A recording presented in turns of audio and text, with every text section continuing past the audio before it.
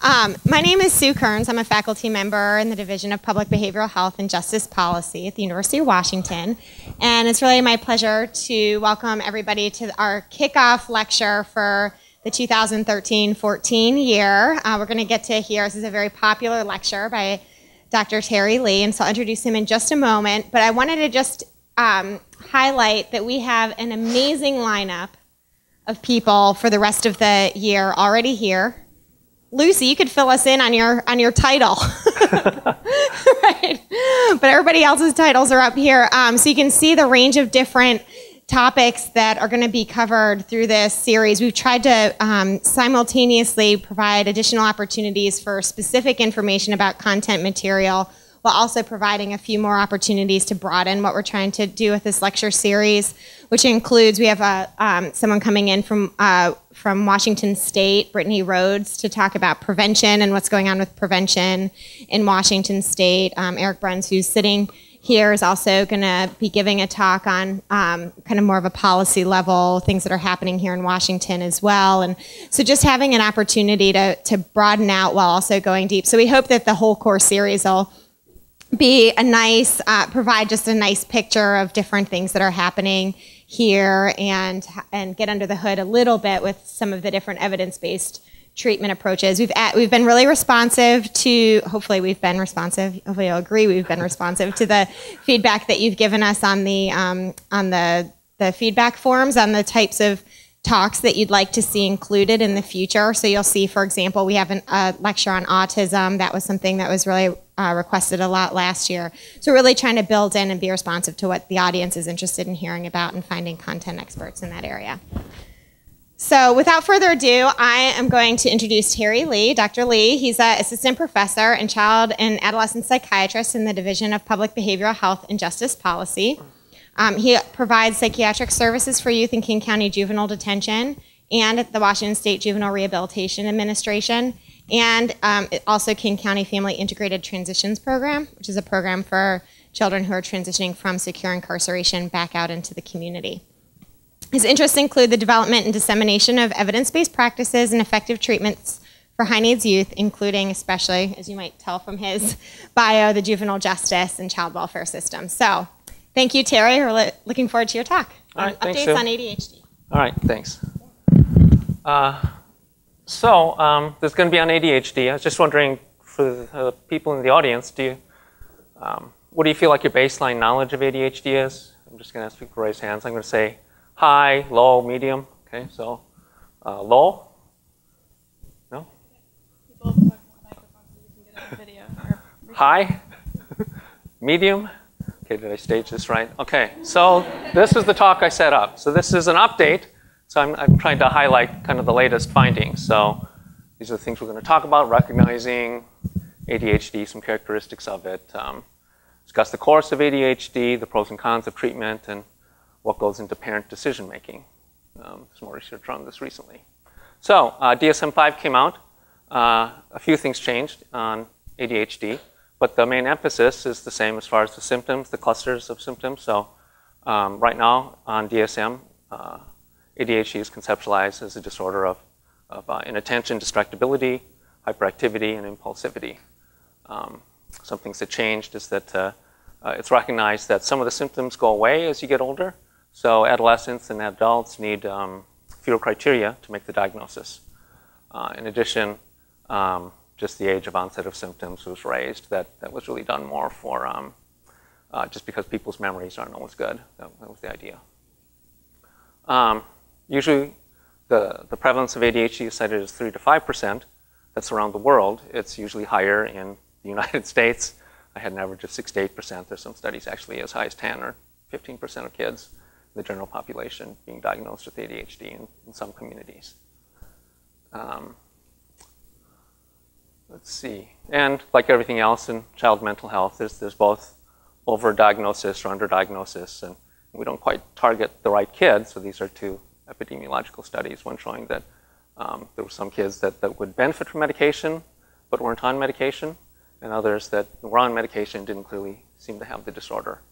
Um, we know that girls are more likely to be underdiagnosed. Girls tend more to have the inattentive type without hyperactivity girls tend not to have the destructive behavior, and as a result, end up not being referred. Um, just this is from the MTA study. Um, just ADHD, plain old ADHD is rare, so this is um, a large study that was done, and only about 30% of the kids only had ADHD. Um, anyone think it's a scam? No, no doubters. So anyone who took the road, stood next to the road, rode their bike on the road should be aware that um, kids or um, adults with ADHD and adolescents with ADHD are more likely to be in accidents, including car accidents. Um, as far as the etiology goes, again, we, we now have a pretty large body of evidence that uh, the brains of kids with ADHD is different than the brains of kids without ADHD. Okay, and I don't want to go over all these areas, but just know that, that this is being very well characterized now, and it fits pretty well. What, what we find on neuroimaging correlates very well with what we know about those areas of the brain and, and what function there is. So the frontal lobes uh, really uh, they have a lot to do with executive functioning, so planning, inhibiting behavior, uh, things like that. Uh, some other research that's coming out is looking at reward and motivation processing. So this is also different in kids with ADHD, and, and there are actually some interventions targeting um, more concrete rewards. Um, and and this, this actually correlates with um, changes in behavior as well as changes uh, on brain imaging. Um, and then there are also, through these studies, several um, areas of the brain that will actually change with ADHD treatment. So this is a busy slide. Can you, can you read this or not? Is it hard to see? The, the, it's just the same thing. I just thought I'd summarize some of but this was a study summarizing some of the findings. This is a meta-analysis, so looking these different regions, looking at studies in children and adults, gray matter, white matter function, and changes on functional neuroimaging after treatment. So again, the idea is just not to go over each region of the brain, but um, that there are very consistent findings now in kids with ADHD versus kids without, and some reversals in, in with medication treatment. Does This make sense? Um, so I thought I'd show some pictures because um, uh, people say when you show a picture of the brain during a talk, people people like that. So uh, the, uh, this isn't so much to emphasize the specific. Well, I guess we'll talk about some. So the in the frontal lobes and the temporal lobes are involved. Here, here's a problem-solving task. So you see the control the kids without ADHD uh, activate more parts of their brain in trying to solve a problem. Uh, this is just the baseline functioning. So uh, again, there's, there's a lot of research. This is a PET scan looking at uh, brain metabolism is just higher in kids without ADHD. And then here's an example then of um, lower activation in the red is increased activity with, with Adderall. And then um, in thinking of the etiology of ADHD, you could think of some kids as having problems with um, inhibiting behavior and um, um, controlling hyperactivity and, and, impulses, in part just as a result of uh, uh, immaturity in their brain, that, that it's just that the kids are more delayed in uh, developing those areas of the brain. And so this is supposed to illustrate that. So the idea here is that uh, at the end, the brains are about the same as far as the, the um, levels of activity in the areas of the brain. But the kid with ADHD or the kids with ADHD in this population were just slower to, to mature. Um, so, so this is why when it comes to treatment, um, you know, most kids start treatment at about seven or eight years old. Um, I recommend at least once a year in elementary school to try going off medication because you might have a kid in this category that at some point they'll, they'll outgrow the need for medication. All right, uh, genetics plays a role. And then the other kinds of known causes don't account for a lot, but any kind of insult to the brain or the CNS system can result in ADHD symptoms. Um, so, food coloring anyone here last time when this came up. So uh, we'll talk a little bit around the treatment side, but uh, the, not enough studies have really been done. A lot of studies have been done on kids without ADHD, so, so just taking typically developing kids and then giving them concoctions of food coloring or sugar can sometimes result in increased activity. Now that's that's a little different than saying that if, if we took that out, then the kids who have clinical symptoms would, would go into the non-clinical range. I mean, there are groups of kids like this, but it's not clear from the studies what percentage of the kids with ADHD fall into that category. Um, although people have tried to estimate this. We'll talk about this at the end. Any questions about this? I feel I had so many last time that uh, I want to be prepared. All right. Um, then the course, uh, again, we don't have great research, but you could think of some chunk of kids as continuing to have ADHD symptoms into adolescence and then into adulthood. So we estimate about 60 to 80 percent or so. So if you think the rate is about 6 to 8 percent in kids, um, with National Comorbidity Study of adults, the rate in adults was about 4.4 percent. Um, and that was using the old criteria, so it might be a little bit higher than that now. Okay, but again, the key is some group of kids probably a high percentage of kids will continue to have symptoms into adulthood. Um, so when you look at the, uh, the, symptoms of inattentiveness and impulsivity and hyperactivity, uh, if you have those things, a lot, a lot of bad things can subsequently happen. So we see things like schools, uh, problems with school, disruptive behavior, peer rejection, um, when you don't do well in school, when you're disruptive in school. There's other research just, just looking at teacher behavior then changes, such that uh, teachers tend to be more, more punitive and do less teaching, do so, less social and academic teaching, and less, less recognize positive behavior on the part of the kid. So this can set you up for a cascade of negative behaviors. This is why, oh, and then uh, again, there's a lot of research, some old, some new, looking at um, parenting a kid with ADHD can be very stressful. Um, and we'll, we'll actually see an example of this. Uh, and then as far as adult outcomes again, but potentially you can get bad things like substance use and criminal behavior and poor work performance. Um, so th this is where I think it, it's important to consider then the course that this is a chronic illness for, for many people, and it's important to intervene as, as um, as aggressively as, as the situation calls for. As far as making the diagnosis, um, this hasn't changed this much over time, or this hasn't changed much over time. So it's still based on a clinical interview of the kid, get information from the school, the teachers, the parents.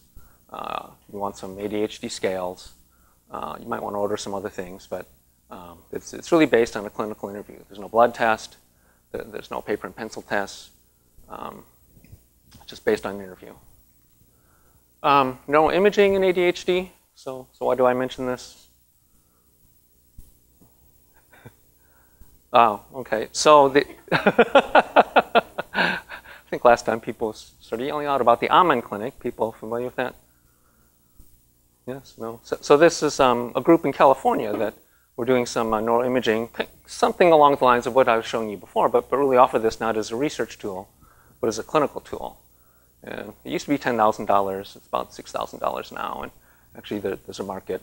Um, you know, if you have $1,000, $2,000, $3,000, $4,000, they'll, they'll find something they can do as far as testing. Um, and actually, the, the Clinic is doing pretty well. They're, they're now in Bellevue, so, so you don't have to fly down to California anymore. There's a branch up here.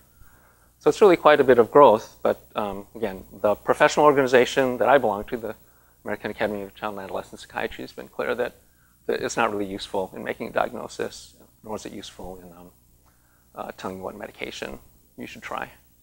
Yes, there's a question? The, the question is, what's the name of the clinic?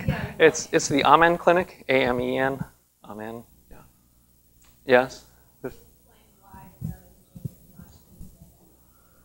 Uh, so, mm -hmm. Sure. So, so the question is, um, why is it not useful diagnostically? Um, and that uh, that's because this it's still a research tool, and that it, the specificity. So, so, you could get other things that, that could cause um, a similar profile uh, for any individual kid, and then uh, it, it's not. Um, the, there's a cost associated with it too, and uh, it, it's really no better than um, doing a clinical evaluation. Okay. Now, if you had unlimited resources, I mean, that, that's fine. If you have time and resource, that, may be fine to do, but, but really it would be the best use of resources to just do a clinical eval and then try the different medications. Also, the, the Amen, um, we'll talk later how people, parents, people tend to be uncomfortable with prescribing medication. Um, the Amen clinic actually uses a, a, radioactive isotope to, to do their scans. Um, so you're exposing your kid to something like that as well. Yes?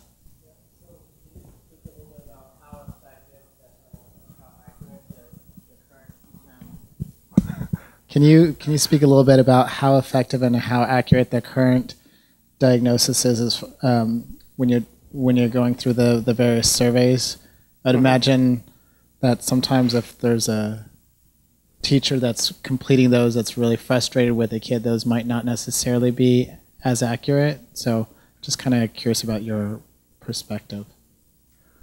Yeah. So again, it's it's based well, I guess everyone heard the question, uh, how accurate is it to, to do clinical interview? And that, that's not always the most reliable method either, but I, I think that um, by putting this all together, by getting input from multiple um, people who know the kid, then, then you can increase the reliability of your diet and the validity of, of your diagnosis. Um, I think most people don't want the kid to be on medication. Sometimes I think people worry that you know, the, the teacher's frustrated and may, may over-report symptoms, but, but that doesn't mean that you're just going by what the teacher says. And you can also just, I, I typically will talk to the teacher and get them to describe like what, what they see in the classroom and ask them to expand on um, what, what their concerns are. Um, and then in the case of an older kid, you, they'll, they'll have multiple classes, and so you'll get five or six different teacher reports.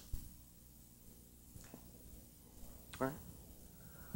Uh, and you, you want uh, multiple reporters. You, uh, a psychiatrist definitely doesn't want to do this just based on how the kid looks in the room because they, they could be nervous and be afraid to move, or they may be nervous and move around, and that, that doesn't mean they do or don't have ADHD. Um, these are some of the rating scales that are used. It, again, you, you, wouldn't use this just to make the diagnosis, but this can help support that as well as um, follow treatment response, like, like a medication trial or uh, some other kind of behavioral intervention. Uh, these are things that I would strongly consider in many evaluations, including vision and um, hearing test. Then the other tests are more if, if there's some kind of uh, reason to, to order other, other kinds of um, cognitive and achievement tests. These are the ACAP recommendations, the American Academy of Child and Adolescent Psychiatry recommendations. Screen everyone for ADHD, interview the kid, the parent, and the school, uh, if you don't know, need to order any other tests, if, if there's no medical history that's significant, um, you should only order further psychological and neurological tests if there's some reason to suspect a neurological problem or some kind of learning disorder. Um, evaluate for comorbid disorders, which we saw were very common. Uh, you need a comprehensive treatment plan. Mild ADHD can be treated with medication or with behavior treatment alone. If it's uncomplicated ADHD, it could be treated with medication alone. Um, and then you need to assess the need for medication over time. So I'm going to start with treatment. Yes? Um, ACAP is recommending screen everybody for ADHD. are they talking about doing this screening and how is that supposed to happen, especially since the recommendation says you should talk to the school, the parent, and the kid? I mean, and, and why screen everyone for ADHD versus any other condition that might be in 5% of the population, uh, since that's a pretty, uh, you know, that's a, quite an investment. Yeah, so good question. Um, I, I, don't know if I quite agree with the recommendation to screen everyone. It may be uh, that every child that comes into a child psychiatrist's office should be screened. And pediatricians are trying to also look at universal screening, um, but, but usually more if you suspect something. I do think um, you, you don't want to miss it, so I, I, think there should be a low threshold to screen since, since the outcomes can be so, so, so poor if it's untreated. Uh, and we have some effective treatments or some ineffective treatments, it would be important to not miss a problem that, that we could potentially help. I think that's thinking behind it, but yeah, I, I agree that it'd be hard to screen the entire population, um, and it may not be practical. Right. Well, we're going to watch a video that touches on some of these things. This is um,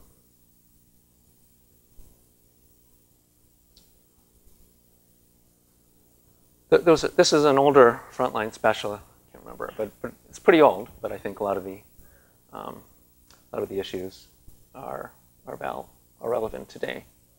And we're actually just going to look at one little bit. This is a kid named Robin. Th- There are actually a series of kids and families that are featured. So what we'll, we'll see is um, sort of Robin's story. He's a young man that didn't have good response to treatment.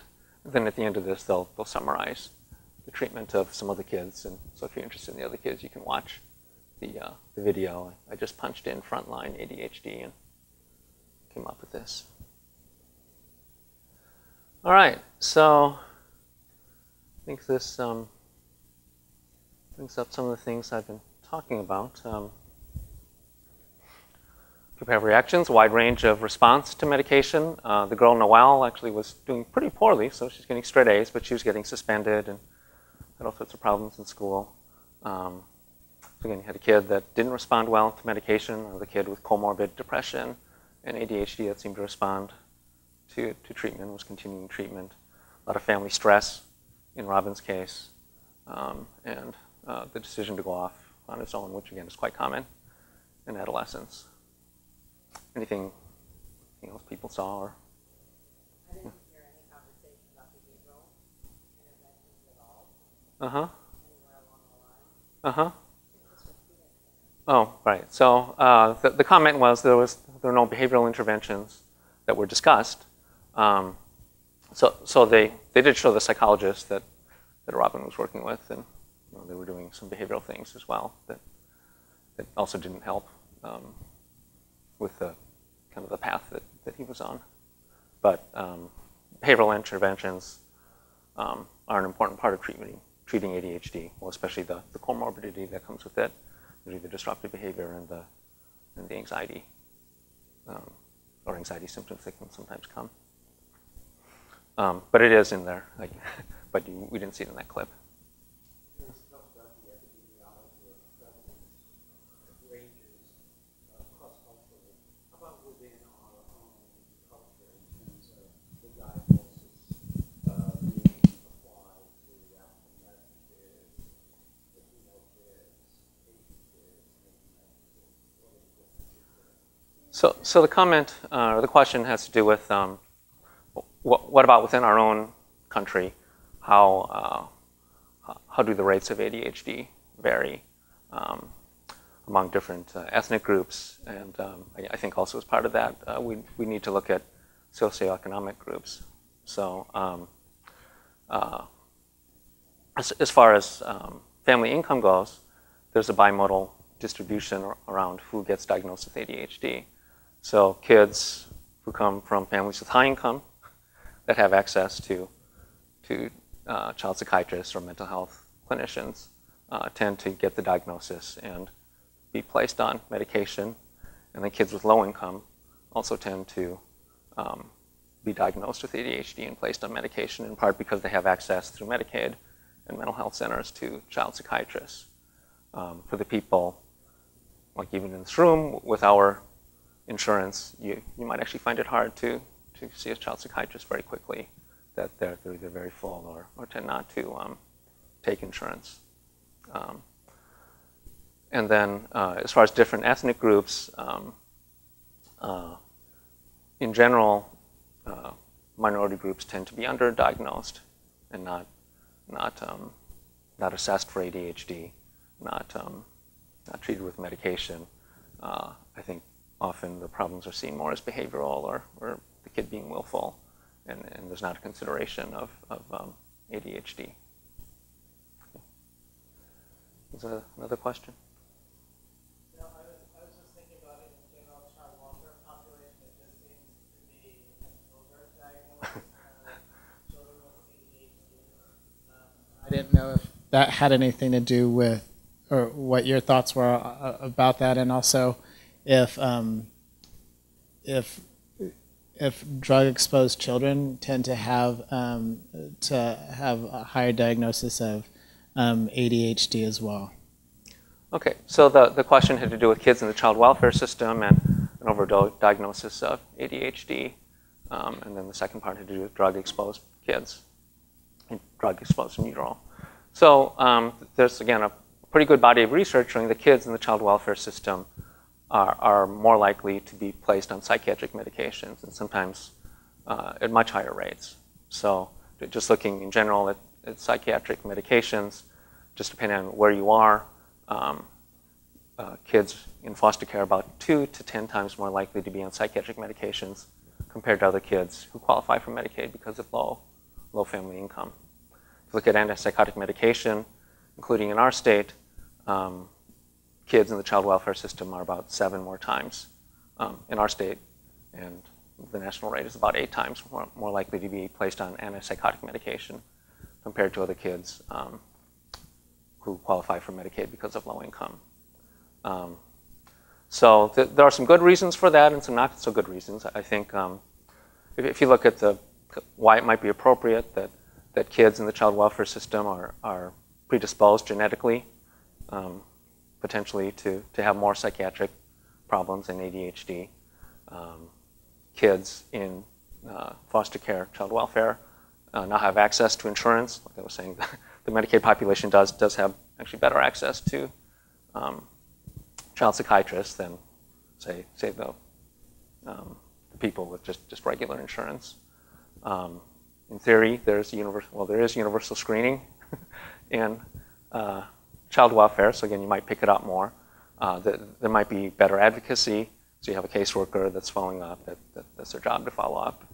Um, see, those might be some of the, the good reasons, and then I, I, think some of the not so great reasons why kids may end up on more medications because there, there could be ineffective advocacy for the kid.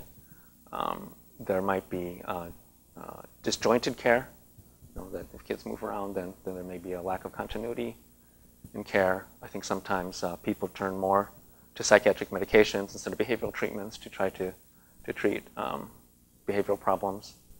Um, I think sometimes people hope that medication can stabilize a complex social situation. Um, I guess those are some of the reasons. Yeah, the, the effects of trauma, so that's part of the risk um, well, as well. So being traumatized or being the victim of abuse or neglect um, just to involve you with the child welfare, welfare system and then being removed from the home can also be traumatic by itself and being, being separated from your attachment figures can, can also be very traumatic.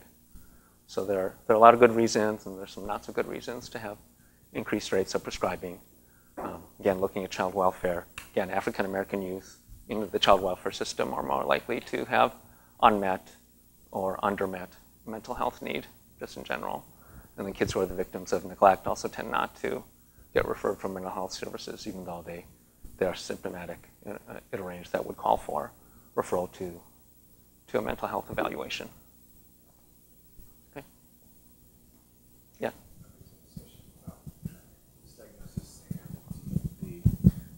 Maybe simple, similar behavioral um, issues for kids that have more PTSD symptoms based upon that trauma and so there's some misdiagnosis and inappropriate treatment because it's a hypervigilance or you know response to the trauma they've experienced and not ADHD, although it can look similar to that.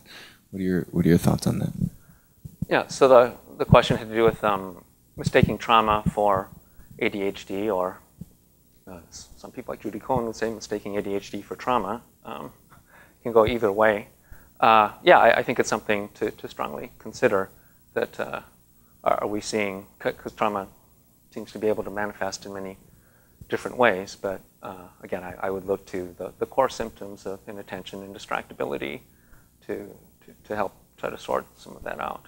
Um, it may not always be possible, but try to get a kid in a situation where they're feeling pretty safe and um, where they're comfortable. It's been a fairly consistent setting. Again, this isn't always possible, but get them in that setting and then try to assess their ability to stay on task and pay attention and um, avoid distractibility, which I think is one of, I mean, I would say that's the most important symptom of ADHD is the distractibility and inattention, more so than hyperactivity or impulsivity. All right, so uh, treatment, stimulants for ADHD.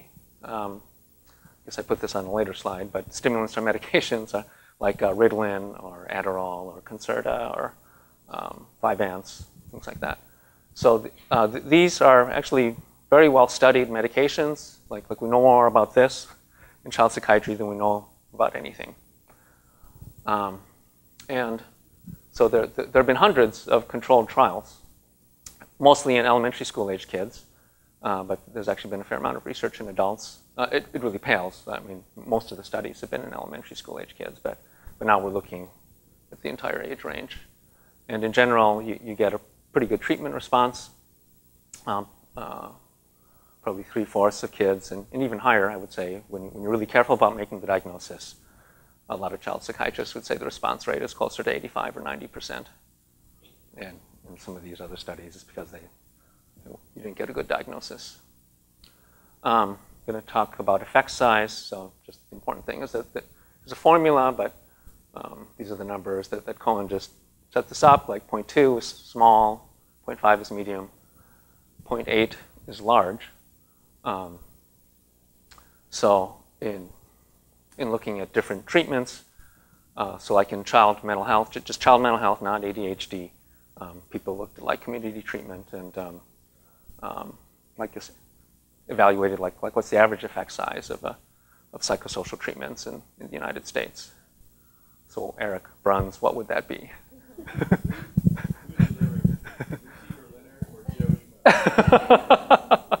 You're throwing everyone in the pot. Oh, everyone in the pot.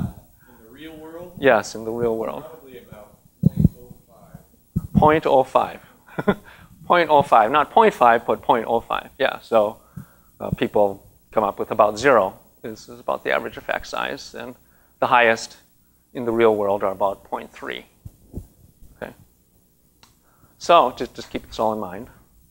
Um, in looking at the core symptoms of ADHD, then, impulsivity, hyperactivity, inattention, you, you get very large effect sizes with, with stimulants. Okay, so, so, so you don't see anything like this in mental health except for antipsychotics for people with schizophrenia. But if you look at like uh, antidepressants for depression, anxiety medications for anxiety, you know, it's, it's much, much lower than this. Uh, so just, just keep that in mind, that we have these very effective treatments for the core symptoms, but then, you know, we, we talked about all these, these other sequelae of, um, of ADHD, the disruptive behavior, and, and then everything that comes with that. So a very common comorbidity is ADHD and disruptive behavior. This was a meta-analysis done. And so they, in this estimate, the, the effect of stimulants for, that wasn't clear, for oppositional behavior, for kids with ADHD and oppositional behavior, the effect size for just stimulants alone was about 0.61. So, you know, that's pretty good if you're thinking averages, uh, or, or the best typically is 0.3. And then psychosocial treatment, so again, some of these were in laboratory or university settings, was 0.66, which is, again, pretty good. Hard to treat problem. But really, combining the two gives you real large effect size. So this is very important to know that uh, a family might choose to not place their, ch- their child on medication, but they really should have a good understanding that they're really looking at, at quite a difference in, in potential outcome. And then when you look at the consequences of, of negative behavior, it, it really goes downhill pretty quickly. Does this make sense? Okay. Um, as far as other medication effects, so, so these are, again, more of the core symptoms of on-task behavior. Uh, well, on-task behavior is, is one of the core symptoms, but then it, um, you can get these other outcomes um, that are, are positive. So the teacher will think that you're doing better. The peer-nominated rankings of social standing, so that this is asking the other kids in elementary school classroom uh, questions about their peers, like, like who do you most want to play with, who do you least want to play with, who's most likely to hit you, who, who do you want to, who do you want to work with um, at, at, during free time. And so kids with ADHD tend to score low on peer-nominated rankings of social standing, and the kids, the peers themselves can, can notice a difference, or they, they find the kid more, more likable when the kid is on medication. Um, and then, again, all these um, sort of executive functioning type of tasks. Uh, and you know, there, there's a fair amount of research showing that uh, caregiver stress and strain also decrease with medication treatment. Um, as far as the long-term effects, uh, the medication will continue to have effects on the core symptoms after, after a year or more Um, no, tolerance does not develop. Um, and uh, th- there's been a lot of concern over substance use disorders. Uh, it's a hard thing to study because we, we can't randomize kids for long periods of time on, on medications. So uh, we're really guessing based on um, the outcomes of kids who stay on or don't stay on medications. So at this point, the party line, and I, I think we can still do more research around this, the, the party line is um, st- stimulants don't clearly increase or decrease future substance use disorders in kids with ADHD. Kids with ADHD are at increased risk for substance use disorders. There, there was some idea that they, they might have a protective effect if you avoid all the, all the negative consequences, but that, that just doesn't seem to, it's not clear that that's really the case. Um, and again, untreated ADHD is, is, um, it, is really a risk for, for future substance use disorders just, just by the nature of, of having destructive behavior and then socializing with ant- um, negative peers and substance using peers. Yeah, is there a question?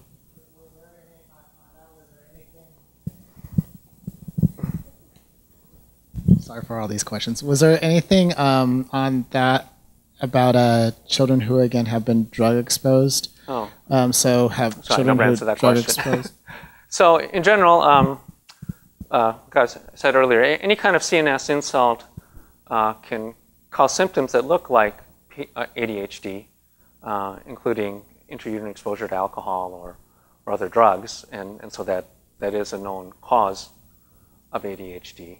Um, kids uh, with fetal alcohol syndrome um, still respond best to stimulants, but the response rate isn't as high as kids with um, other causes or unknown causes of ADHD. I'm sorry. So just for clarification, I mean, for kids that were more likely to, um, you know, end up being substance abusers later on. Um, oh, it's just uh, the fact of being exposed in utero to. is well so i think i read a study and I'm, it's been a while back that suggested that giving children uh, ritalin or adderall is not advisable for kids who have been drug exposed because that will that could increase their likelihood of you know substance abuse because of their pre-exposure to drugs Yeah, I, I believe there could have been such a study published or even a series, but, but I, I would say that the risk is more of untreated ADHD. Um, stimulants really are the best medications, and, and I, I would think that, um, um, or ju- just offering the best treatment will result in the best outcomes. I, I don't, the, the idea of like sensitizing a kid or, or just by uh, being sensitized in utero and then um, having that, I guess, uh, actualized by being exposed to the medication, I, I don't think there's any evidence to support that. I might go look into that a little bit more, but we, we do treat kids with the um, fetal alcohol syndrome, for instance, with, um, with stimulant medications, and it, yeah, it seems to work the best and um, is most helpful for the disruptive behavior as well. Um, if you just look at, I mean, there, there have been some studies published recently around um, even uh, kids whose, whose um, mothers smoked while they were pregnant, and then looking at kids either who were raised by other people or, or by their families, and they, they seem to have the same rates of substance use disorders later on in life. So, so just, just the fact of smoking cigarettes itself is, is a large risk for future behavior problems. Uh, so as far as the, um, so, so this is a meta-analysis that was done recently, um, looking at long, long-term studies, long-term being more than two years and somewhere up to, to 10 years, um, and looking at treatment versus non-treatment, looking at um, different kinds of psychosocial outcomes. And we'll, I have it on this side, so, so we'll talk about what, what some of those are. But in general, again, just, just having ADHD puts you at risk to have more, more functional problems later in life. If you treat with medication, that, that will decrease some of the risks, but, but will not make the risk go away completely. Um, yes. Uh, for all of this, inattentive type ADHD responds in the same manner to combined type or hyperactive type? You, you mean as far as medication goes? Yes. Yeah. Um, it, it's hard to tease apart some of that. I, I, do think um, the, the, prim, uh, the inattentive symptoms do respond to, to medication. And it's, again, to me, the, that's really the, the most central symptom of, of ADHD, and it responds very well to medication. Um, in general, not having the disruptive behavior will be associated with better long-term outcomes.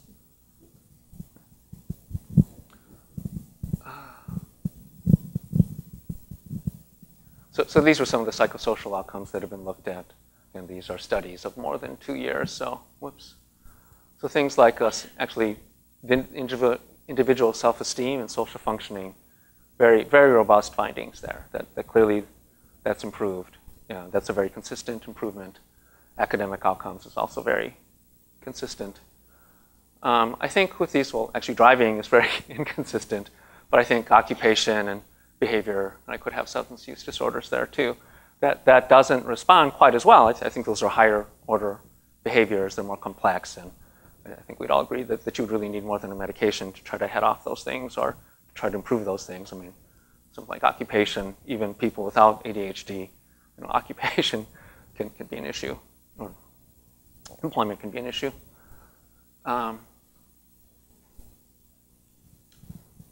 oh, this is a very interesting study. So this was published last year the New England Journal of Medicine. So this is a Swedish study. Who else but someone like the Swedes could do a study like this? So these are adults with ADHD. They were followed for three years. So they had access to the pharmacy records, since there's a universal health program. Uh, they had access to the criminal records, and they looked at um, criminal behaviors defined by convictions uh, as it related to compliance with ADHD medication. And so what they found is that when these adult uh, persons with ADHD were taking medication, there was a 32% reduction in criminality for males and an over 40% reduction in criminality for females. Quite remarkable, huh? And then in case you think, well, they're just being compliant with the medications, they're at a compliant point in their life, they looked at SSRIs, which don't treat ADHD but treat anxiety and depression. Compliance with SSRIs were not associated with any reduction in criminality again, so some pretty strong evidence in support of uh, the, effects of medication and um, what it can do for behavior. Questions about that? Uh, as far as side effects go, uh, these again are fairly stable. I mean, as far as what we know, it hasn't changed over time. The substance use we're, we're still trying to tease out, but um, as far as any, uh, well, starting with short-term side effects, uh, a lot of kids who respond to medication will have either sleep problems or appetite suppression or both. I'd say about two thirds or more will have one or the other or both. So we, we do need to manage those side effects. Um, some, some kids do have to stop the medication because we're unable to, to manage the appetite suppression. Um, and then I, I think one of the most serious, or the most serious long-term, serious I guess one of the most impactful long-term side effects is a, a, decrease in height. Again, hard to study well, um, but the, the party line at this point is that if you take the medication starting at age seven or eight and continue into adolescence, uh, if you take a group of, say, 100 kids, on average, uh, the, the kids will be about half an inch to an inch shorter. Uh, and the, this seems to be a direct effect of the medication. This is not a result of like decreased appetite or, or decreased sleep might affect growth, but, but it seems to be a direct effect of the medication. Uh, there's a fair amount of, what?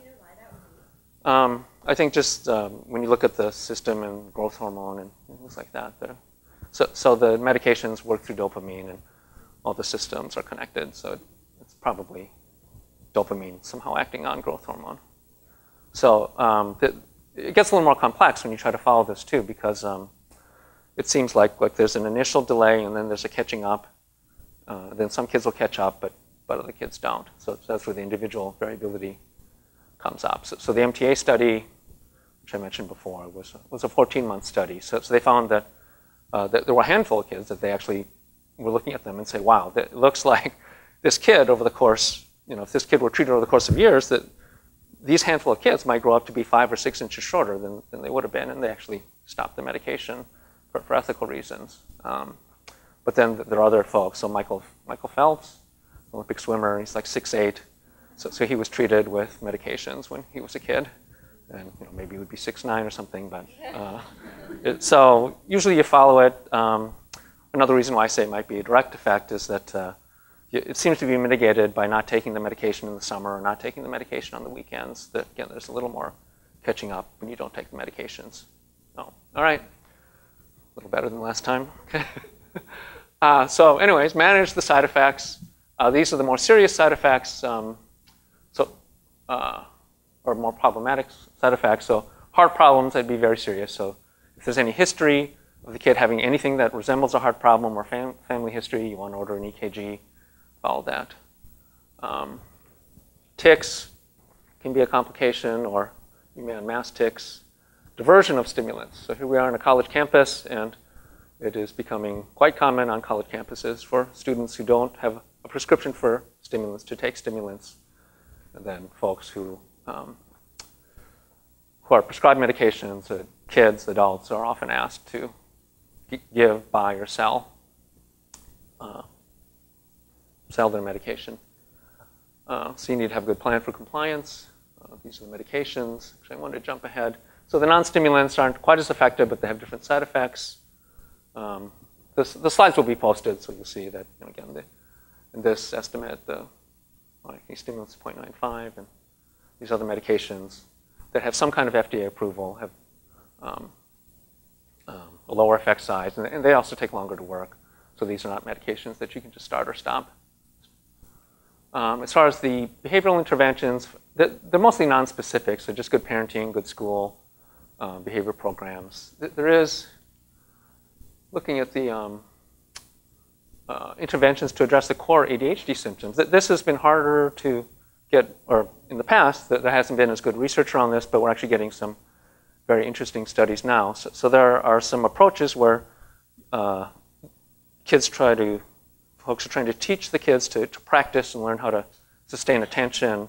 There are drills to uh, improve short-term memory or um, working memory. Um, and, and these haven't always generalized well, so you can do things in the lab and, and they don't always generalize well to the classroom, but, but they're, some of the studies um, or some of the approaches involve having the kid practice in the classroom to try to get better generalization.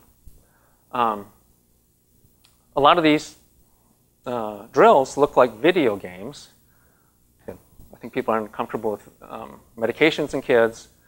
Some people are sometimes uncomfortable with video games in kids. Um, but, so I'll, I'll, just present a study that was done, um, just published in the September, in a September issue of uh, the Nature Journal, or Nature Journal, the, the journal Nature.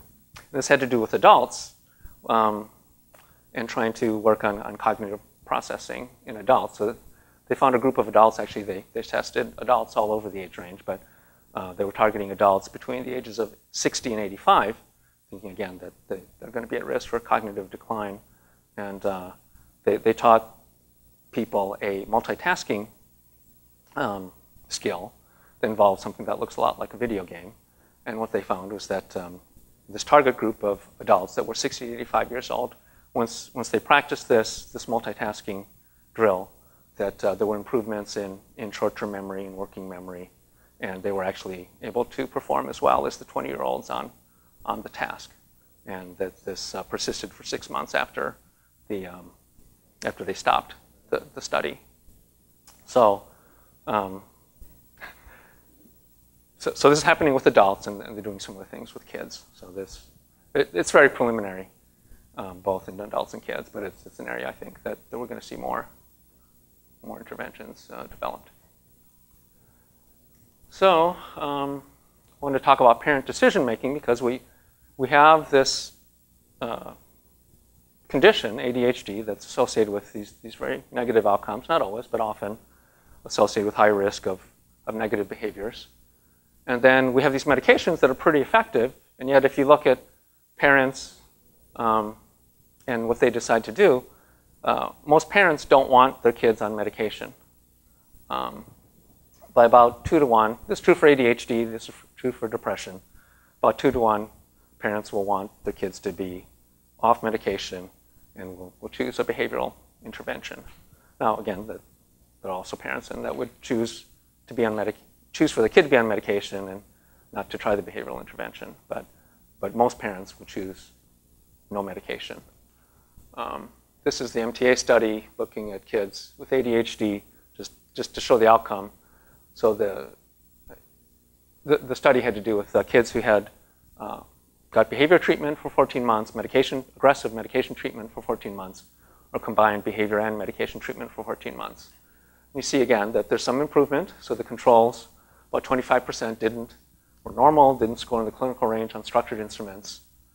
Uh, combined treatment was the best, but you see that medication management um, had better outcomes on this measure than behavioral treatment.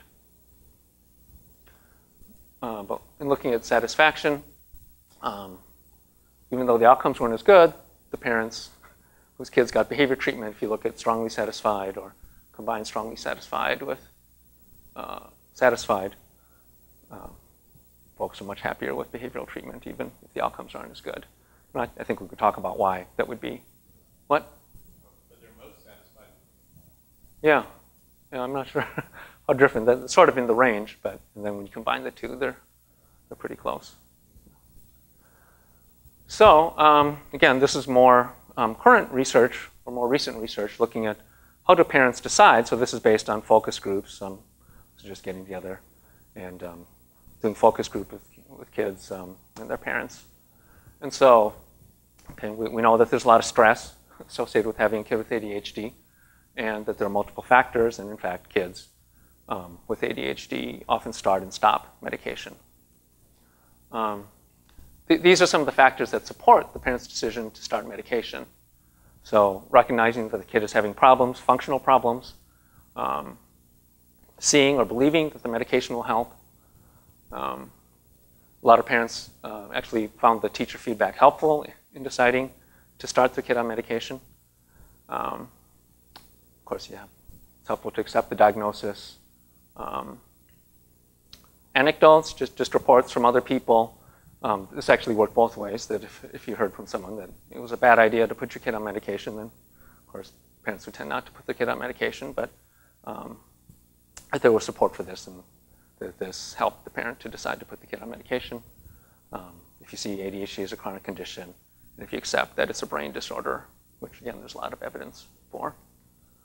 Um, being aware of the long-term consequences. Again, these are things that, again, when I'm working with a parent, I tend to think of these things to, to try to help the parent to decide.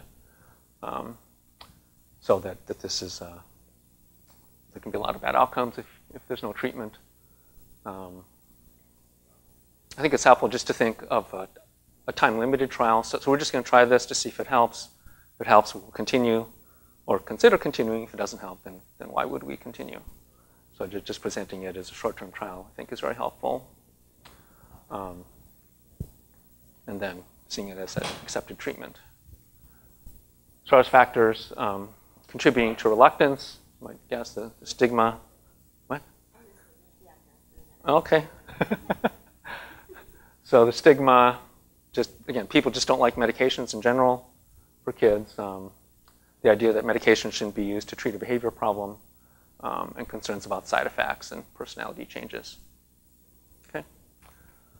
So, well, here are my slides on complementary and alternative medicine. I guess you can read that later. so there's neurofeedback, food coloring, um, omega-3 fatty acids. Neurofeedback doesn't seem to generalize very well. Um, so this is the conclusion. Um, I guess the stuff we've talked about. So it's a chronic illness with negative, income, uh, negative outcomes. Um, you need to get feedback from a lot of people before making the diagnosis. Um, if you use medication, it will help outcomes, but not make them completely well. Um, you can use medications or not if, this, if the symptoms are mild. Um, and we don't, stimulants for kids with ADHD don't clearly increase or decrease the risk of sub, future substance use. Okay, so we're done. I guess we can take questions at this point. So, with your evidence-based child psychiatrist that you are, if a kid really did have ADHD and if they did have a positive response to medication, would your general recommendation to a family be just, well, your kid should stay on these medications indefinitely to have the best outcome? Um, I, I typically, so the, everyone had the question, would the recommendation be to, to continue kids on medication um, for, for a long time? Uh, given what we know that some kids will grow out of it, I, I do recommend generally that um, uh, kids have a trial off medication about once a year um, dur- during the critical periods, which I would say the critical periods would be from between age, say, seven and 10 or so, that, that there'll be a, a chunk of kids that grow out of it at that point. But if, if you still have the symptoms at age 10 or 11, you most likely will continue to have symptoms through puberty, but, or into puberty. So puberty would be another time um, to try taking the kid off medication, and then a number of them will try going off anyways. Either the kid or the family or both will try to th- take the kid off sometime in the teens. Uh, and then another critical period would be in the 20s, where um, t- typically um, uh, folks um, get more ma- mature brain functioning at about age 25 or so, so that'd be another time to, to try to go off. Okay, so, so I would continue, but knowing that if, if you have it at certain ages, that you, you most likely will not grow out of the symptoms at, at that point in your life. Yes. I noticed that um, you mentioned about the dopamine and kind of skipped over the alternative. Um, my son really had severe problems, like severe anorexia. Growth was stunted, everything. So I started studying orthomolecular vitamin therapy. And I'm wondering what your knowledge is on GABA as far as like um, boosting the dopamine, or if it's if you know of its use in ADHD, because it's worked wonders with my son. And we had to go that way because of severe, severe reactions on every different kind of ADHD medication. But what is your take on the natural approach? Yeah. Um, so, so with GABA specifically, I, I have no knowledge of GABA. I've not used it myself. Um, I guess I would also say if, if it's worked well for you and your son, then that's great. I mean, that, uh-huh. Yeah. Well, um, uh, folks are just starting to study GABA now, so I guess we'll see more about that. I mean, I guess the other thing, just with with child behavior in general, um, uh, we're talking about a, a very serious condition in ADHD. We don't have a lot of great answers. I mean, even with the best treatments, there, there's a risk for, for negative outcomes. So I would really just say in general, try everything, try anything, and, try, and stick with whatever seems to work. But also test it from time to time to see if that's really what, what the critical factor is. Is that it? All right. Well, thank you very much for coming.